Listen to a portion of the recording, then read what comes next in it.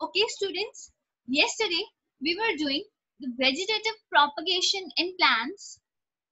आज उसी में हम आगे करने वाले हैं। हमने कौन कौन से टाइप्स के वेजिटेटिव प्रोपोगेटिव पार्ट्स पढ़ लिए थे? Basically we were reading about the stems stem में हमने runner offset tuber and rhizome का पढ़ लिया था। आज हम पढ़ने वाले हैं उसे नेक्स्ट पार्ट स्टेम स्टेम के सारे पार्ट्स कंप्लीट होने के बाद we will read about how the plants vegetatively propagate with the help of root and उसके बाद हम पढ़ने वाले हैं कि वेजिटेटिव प्रोपोगेशन जो है दैट इज़ हैपनिंग नेचुरली इसको आर्टिफिशियली भी पीपल लोग यूज़ करते हैं प्लांट का एक क्लोन बनाने के लिए। ठीक है? चलो फ़र्स्ट ऑफ़ ऑल रीड करते हैं हमारा bulb what is bulb and corn ठीक है? See a bulb is a structurally short stem fleshy leaves or leaf bases that functions as food storage organs. Onion देखा है, प्याज सबने? गार्लिक भी देखा होगा। लसन बोलते हैं जिसको, लहसुन। होते क्या है ये?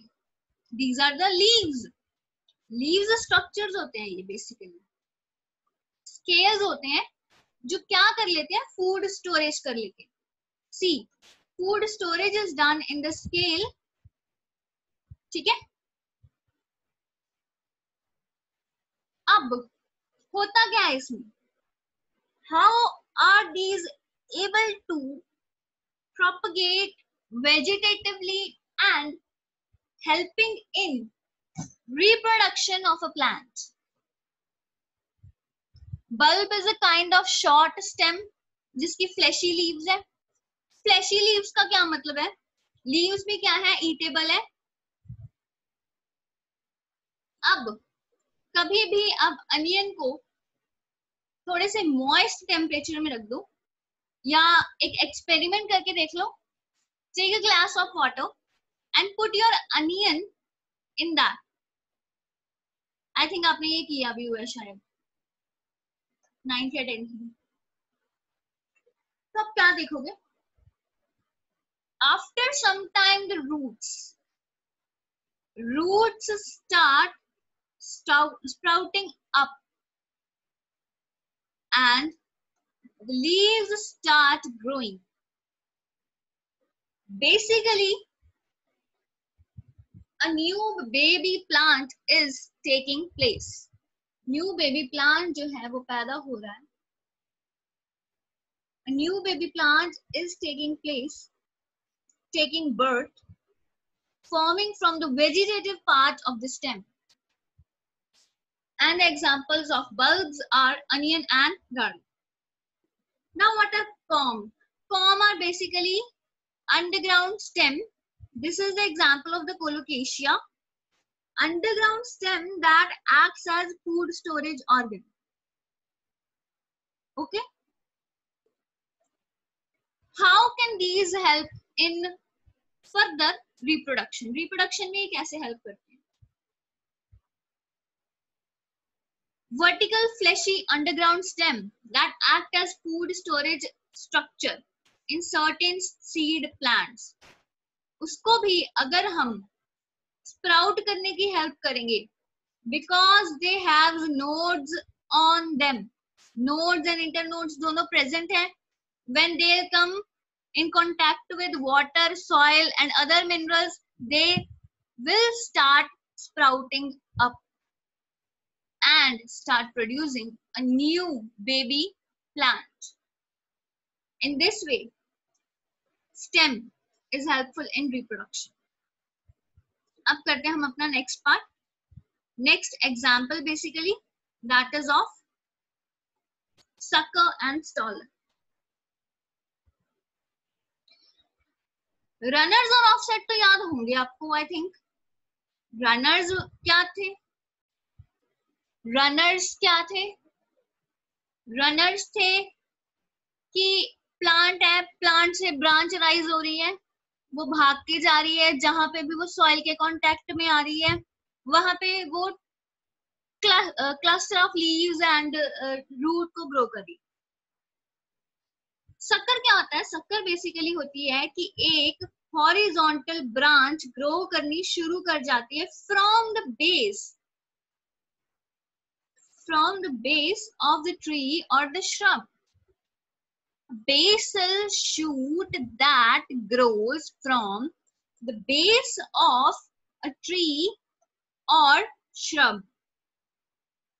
That is known as a sucker. For example, chrysanthemum. This is the chrysanthemum plant.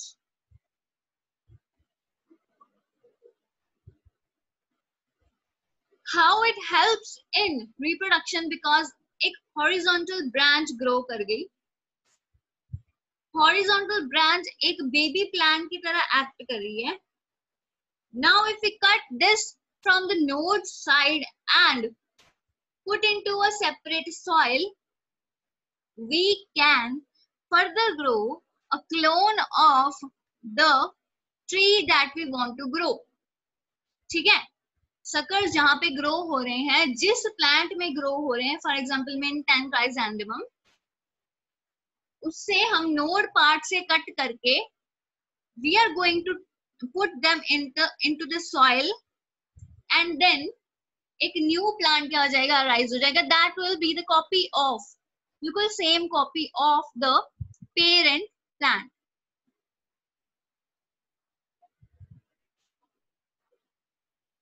Now, what is a stolo? Runners क्या थे?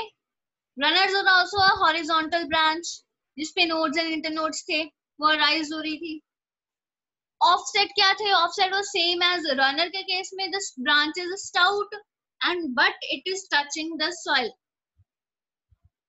now stolon is somewhat ये ग्राउंड से थोड़ा सा ऊँची उठ के रहती है। ये ग्राउंड से थोड़ा ऊँची उठ के रहती है, इसलिए उसको हम क्या बोलते हैं? Stolon runner offsets stolon and suckers basically basically basically they are of the same category क्या करते हैं? ब्रांच होती है सब में। ब्रांच ग्रो होती है। ब्रांच या तो नोड्स से लीव्स का टफ्ट अराइज करती है। या फिर एक हॉरिजॉन्टल ब्रांच वर्टिकल होके पूरा ग्रो कर रही है?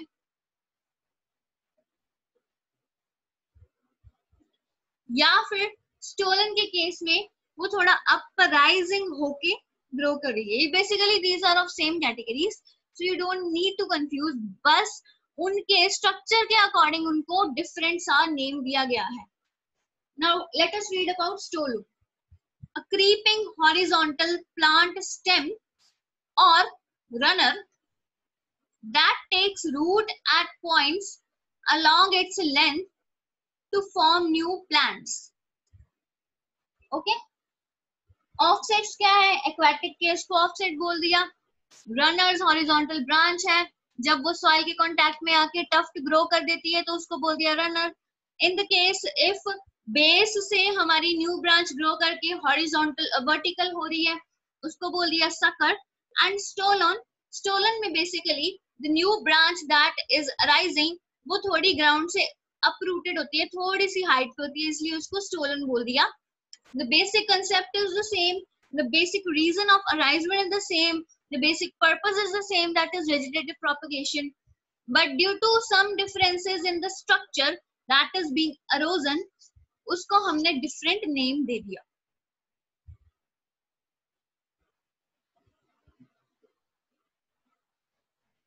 Now, vegetative propagation in plants by other plant or other vegetative parts. इसमें हमारे कौन कौन से आ रहे हैं let us see vegetative propagation by roots example Dalbergia सीजो shisham plant है जो, वो रूट से ग्रो करता है। रूट्स में बर्ड्स होते हैं। बर्ड्स को अगर हम लेके निकाल के उसको बाहर किसी और सॉइल मीडियम में रख देंगे तो वो बर्ड में पूरा एक प्लांट ग्रो करने की कैपेबिलिटी होगी। Same is in the case of sweet potato The name of sweet potato is Ipomea potato. Sweet potato खुद तो अंडरग्राउंड स्टोरेज ऑर्गन होता है, जिसमें फ़ूड स्टोर होता है उसमें भी वेजिटेटिव प्रोपगेशन होती है by the medium of roots and how these roots are able to do able to perform vegetative propagation is because they are having radical buds and they have the capability to give rise to the whole new plant. And that whole new plant is a clone of is a clone of what is a clone of parent plant. Why?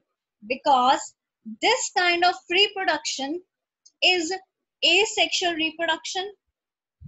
Asexual reproduction की वजह से कोई भी part कोई भी plant grow करता है तो वो बिल्कुल पेरेंट का क्लोन होता है now vegetative propagation by leaves leaves leaves कैसे फुल प्लांट ग्रो करती है? Bryophyllum bryophyllum is a very beautiful plant इसको हम पंजाबी में पत्थर चट बोलते हैं। देखा है आपने ये प्लांट इसमें क्या होता है? द होल लीव लीव्स के ऊपर लीव्स ग्रो करती है and that whole leaves can give birth basically और form a new plant Same is in the case of Bignonia, but it is more prominent, more prominently seen in Bryophyllum. Bryophyllum के case में इसको ज्यादा देखा जाता है. I have an image of Bryophyllum, real plant that I clicked when I went in that zoo nearby our city. Kalanchu. These are the three plants that reproduce by vegetative propagation of leaves leaves कहाँ पे grow करती हैं axillary bud पे या radial bud पे जहाँ पे nodes होते हैं basically nodes can be on the axils और laterally हो सकते हैं तो उस अगर ब्रांच में उस अगर नोड्स में लीव्स ग्रो कर रही हैं तो लीव से पूरा एक प्लांट भी ग्रो कर सकता है but in some specific kind of plants ही ऐसी वेजिटेटिव प्रोपोगेशन मिलती है फाइंड आउट होती है, जिसकी वजह से the vegetative propagation done by leaves is not very useful देखो, अगर हम कोई, अगर हम कोई प्लांट उगाना चाहते हैं वी विल फोकस ऑन कि उसके रूट्स उग जाएँ तो प्लांट खुद ब खुद उग जाएगा। क्योंकि roots are the first step the primary step इसलिए vegetative propagation by roots can be done wherever we find a bud in the roots वो रूट्स हैं जो उसके बर्ड से whole plant is able to arise but in the case of leaves it is not possible only some kind of plants that are able to reproduce naturally by vegetative propagation can be used in such cases for example these are bryophyllum bignonia and Kalancho.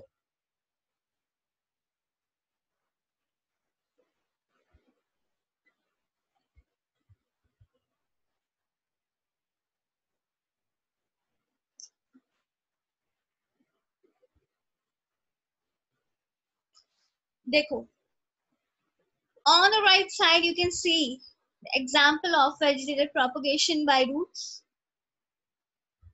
swollen root पे tuber भी दिख रहा है. What is tuber basically outgrowth of stem stem की जगह in the sweet potato case root काम कर रहे हैं. इसलिए वहाँ पे ट्यूबर है. बट रेडियल बड जहाँ पे this radial bud is present let me show you just wait okay now and this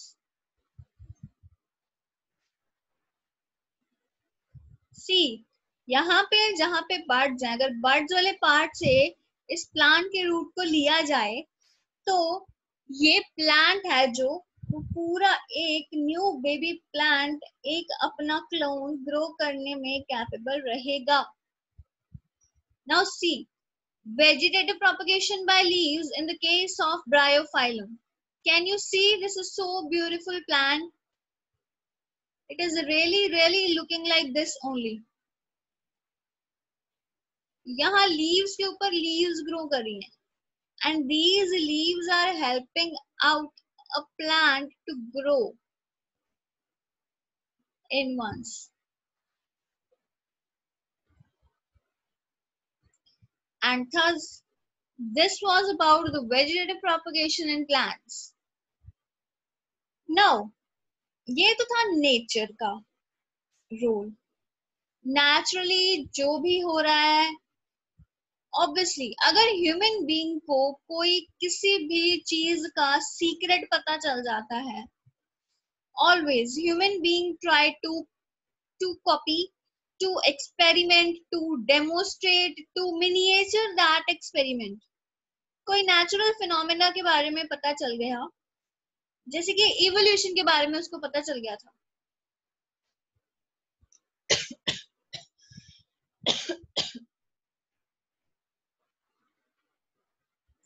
The scientist named Haldane, उसने सारा experiment Urey and Miller experiment उन्होंने सारा कर लिया था, जिससे उन्होंने ऑर्गेनिक इवोल्यूशन को शो कर दिया।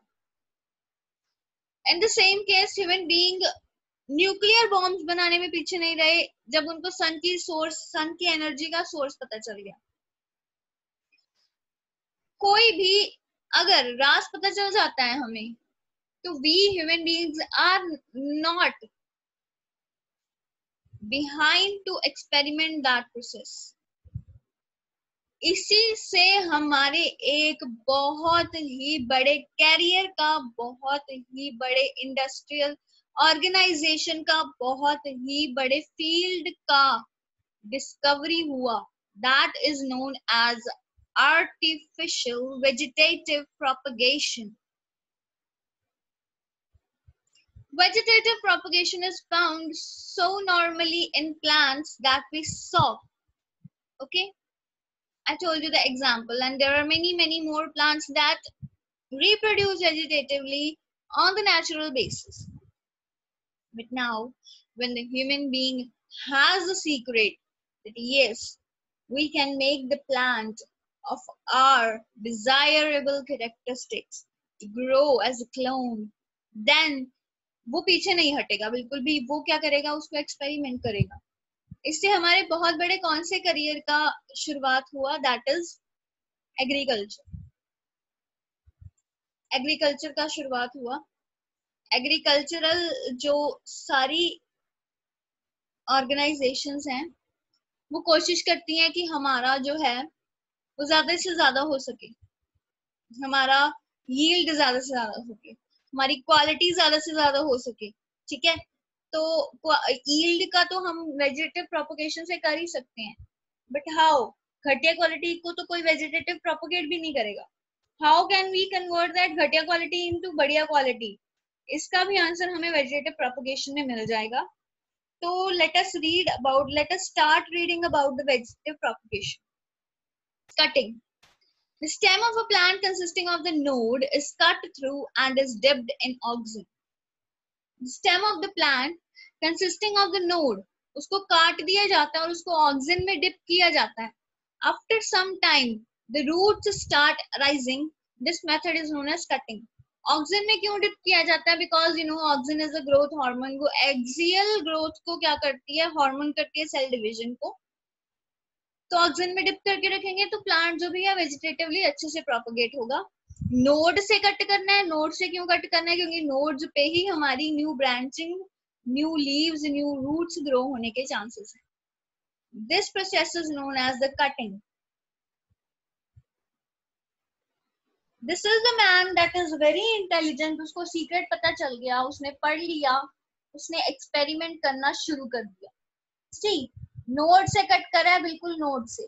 ठीक है, दिख रहा है आपको in the first first diagram let me annotate you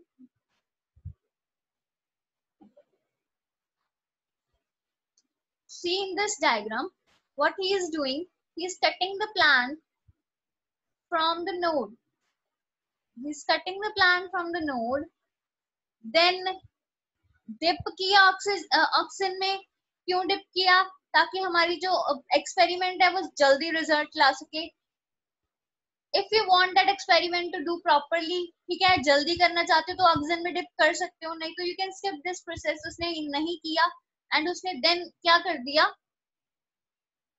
Then he planted this cutted plant into new pot, and अब इसको क्या मिल जाएगा? अब इसको बिल्कुल same to same new clone मिल जाएगा एज अ बेबी प्लांट इसको न्यू क्लोन मिल जाएगा।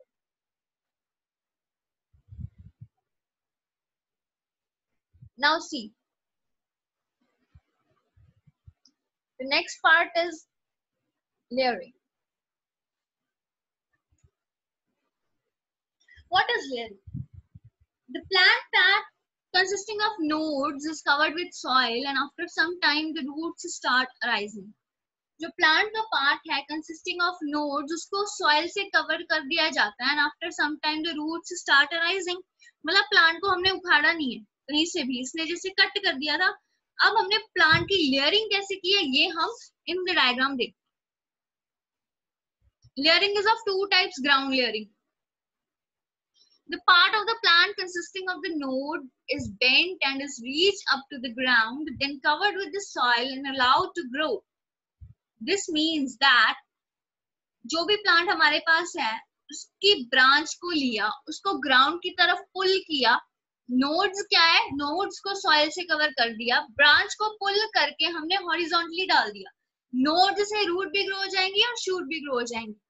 Because we are pulling that plant into the ground that is why this experiment this layering is known as the ground layering booty booty is the method of air layering air layering में क्या करते हैं? हम node के बाहर से सारे dead cells remove कर देते हैं।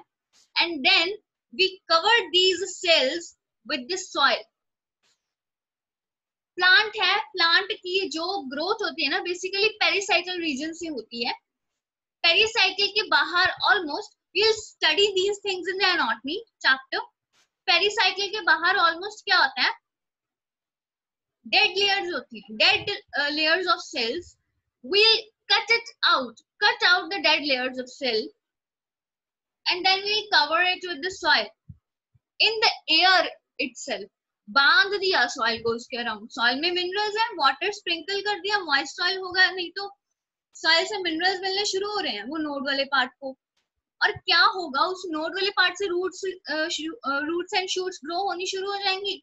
जब ग्रोथ इनफ हो गई है तो उसको काट के उसको नीचे लगा दो। एयर लेयरिंग क्यों बोलते हैं और करते क्यों है? बेसिकली जब ग्राउंड लेयरिंग हमारे पास प्रेजेंट है देखो प्लांट को लेके खींचना is a very big deal sometimes the plant is very hard to be pulled तो उसको जिस पार्ट को, जिस प्लांट को हम खींच के नहीं ग्राउंड तक लेके जा सकते, अगर ग्राउंड तक ले गए तो वो दोबारा से वर्टिकली खड़ा हो जाएगा। इसलिए we opt this method of booty let us see in this diagram what booty is.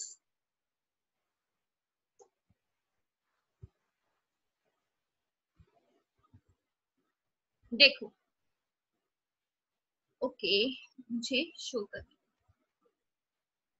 This method is of ground layering यहाँ पे सपोज़ करो इसका मेन प्लांट यहाँ पे था।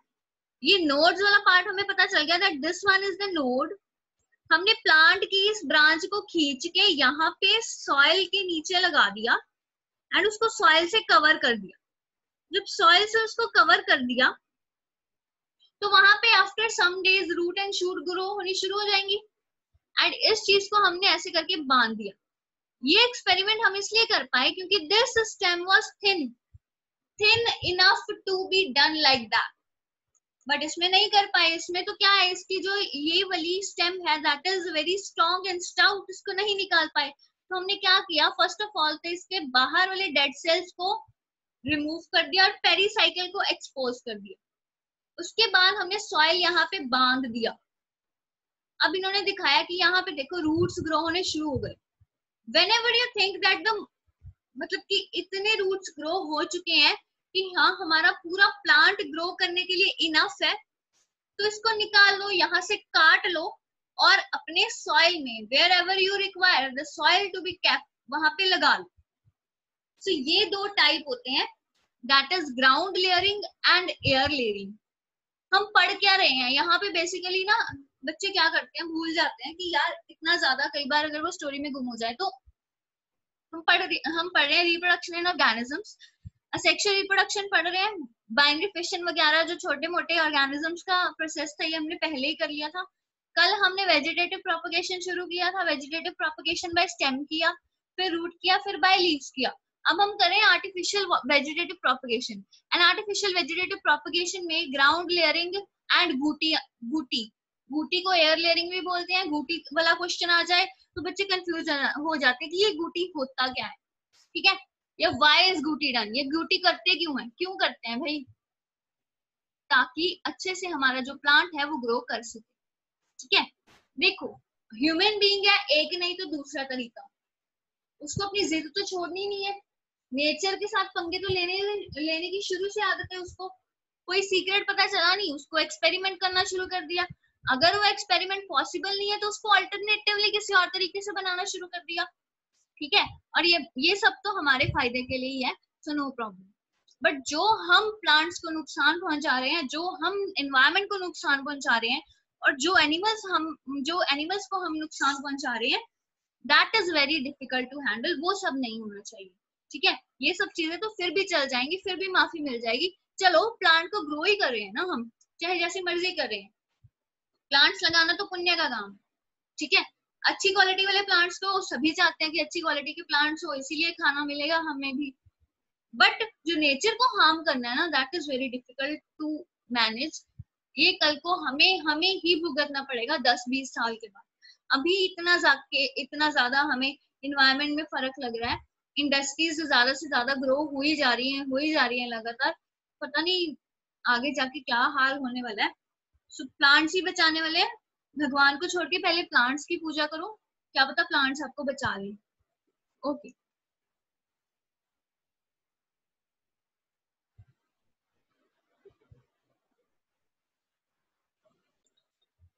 नाउ हमारा जो टॉपिक है that is of grafting grafting छोटे बच्चों ने भी पढ़ा है। ग्राफ्टिंग में क्या होता है? हम दो पार्ट्स लेते हैं root part and the shoot part stock and scion ठीक है? Scion and the stock depending upon root part मोटा है या शूट पार्ट मोटा है मोटा है तो इसको हम थ्री टाइप्स ऑफ़ ग्राफ्टिंग में डिवाइड किया हुआ है।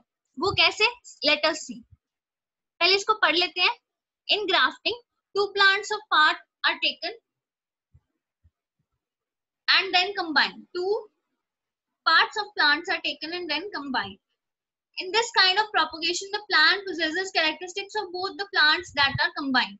ठीक है? हमने कंबाइन कर दिया कैरेक्टर एक बार उसको तो बाद में जो फ्रूट्स आएँगे ना और जो न्यू प्लांट उगेगा फ्रूट्स में जो सीड्स मिलेंगे उसमें दोनों प्लांट्स के कैरेक्टरिस्टिक्स आएँगे। ठीक है? सपोज़ करो हमने रूट स्ट्रॉन्ग वाला प्लांट ले लिया। रूट स्ट्रॉन्ग वाला ही हमारा जो स्टॉक है उस पर हम एक टेस्टी फ्रूट वाला स्काई ऑन लगा रहे हैं तो स्काई ऑन पे टेस्टी फ्रूट्स भी आएँगे रूट पार्ट हमारा स्ट्रॉन्ग तो हमें मिल ही गया। तो इसमें कंफ्यूज नहीं होना कि कैसे मिला और क्यों मिला। Now see first one is the wedge grafting wedge मतलब वेज शेप में इसको काटा जाता है